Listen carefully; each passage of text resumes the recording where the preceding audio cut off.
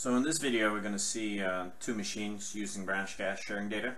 The first machine I kicked off a long time ago and it's running a bits download in WinPE 10 and it's downloading data uh, into its cache. It's set to a bandwidth limit so it's downloading with about I think one megabyte per second so it's going quite slowly.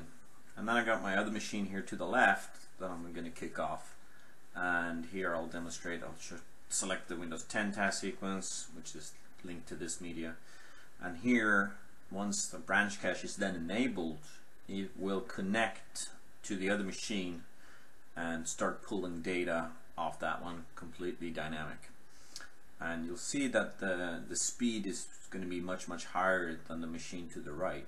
And that's why we're using the ignore limits on local LAN bits policy settings by default so enabling BranchCache here and download starting. And you can see the figures down here that it's, it's uh, pulling data a lot quicker, up to about 45 megabits per second, which is the default uh, speed that BranchCache kind of operates in, in order to try not to bog down the machines that is pulling data data from.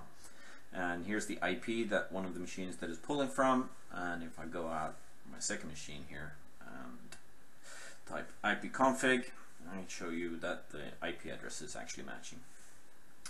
And once uh, we catch up with the first machine, you'll see something quite interesting is that it will automatically start backing off once we reached and pulled all the data off.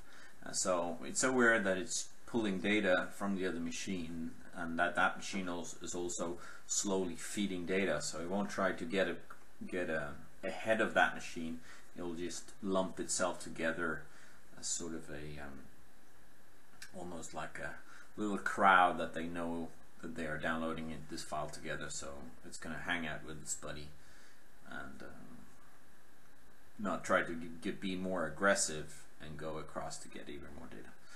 And if that is a big concern, like Windows 7 is not so good at this, uh, you should you look at the uh, StifleR product that we're developing at the moment that will then ensure and you can also limit intra packages at the same time. But you can see it's kind of slowly getting data from the other machine and uh, this kind of shows how you, you can do with Windows 10p. Thank you.